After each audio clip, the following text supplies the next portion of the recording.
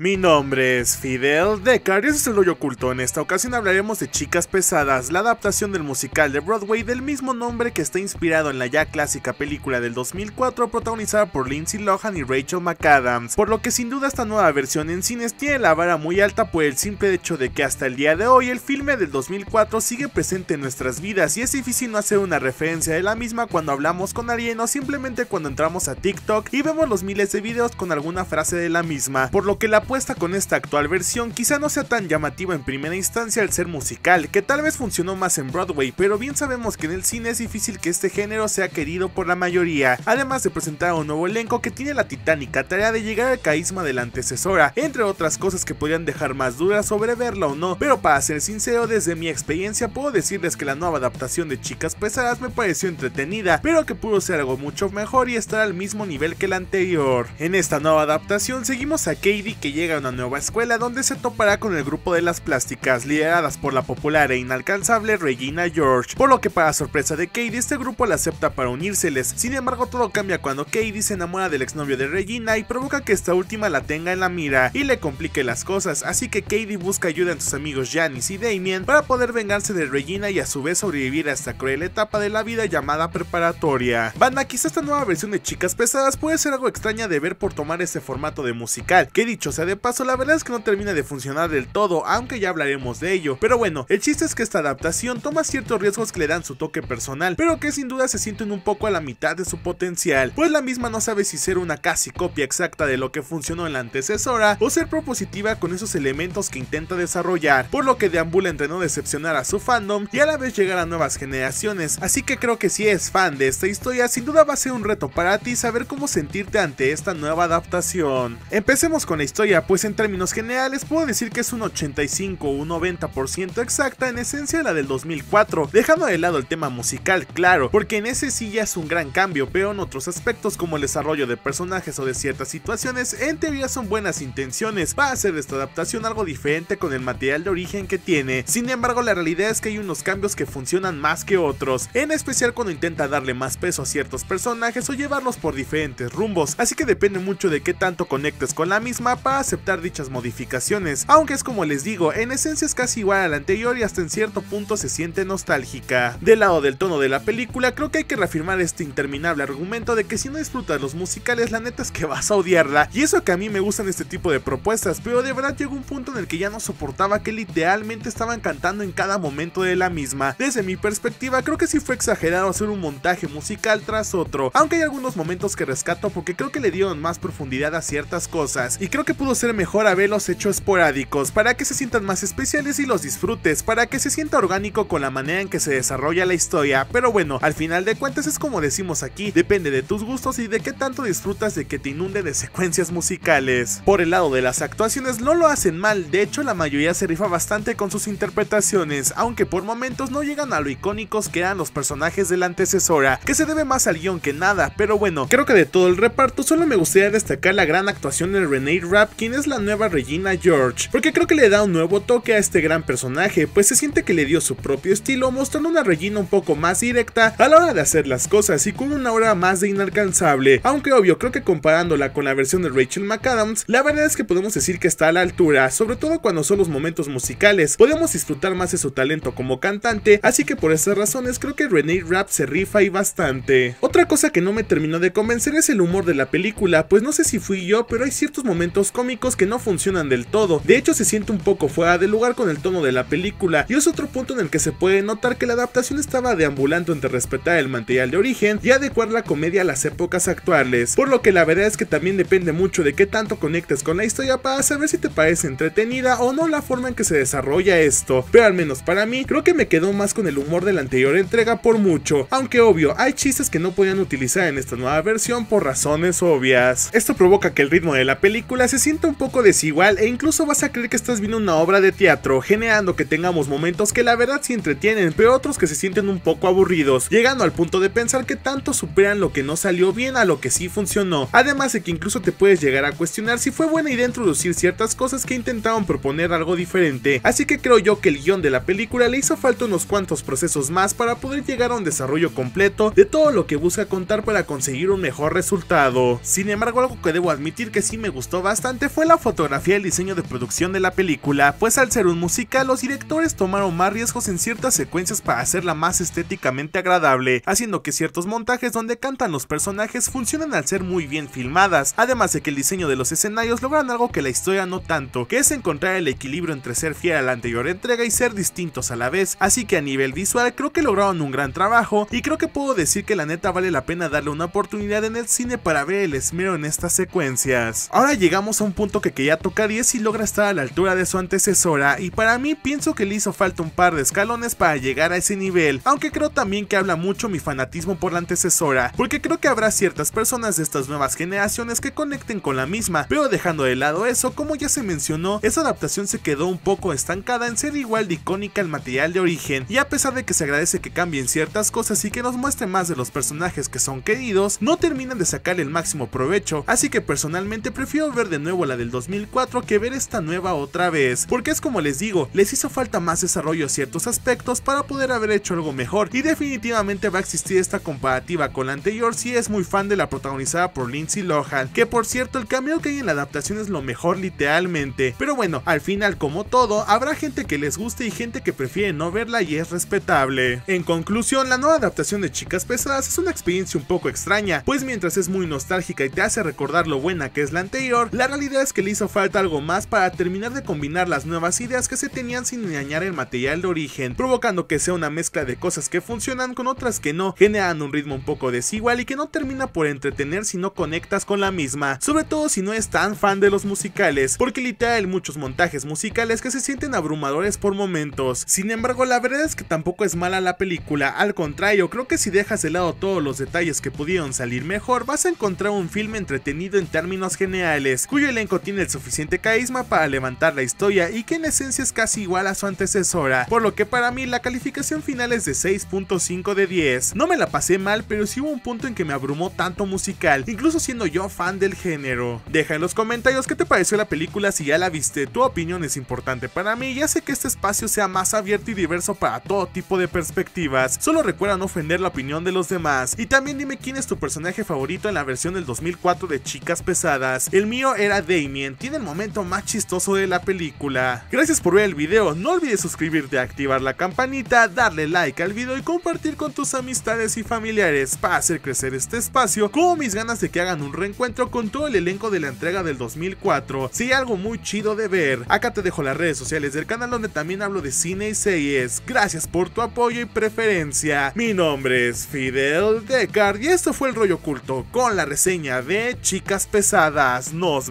la próxima.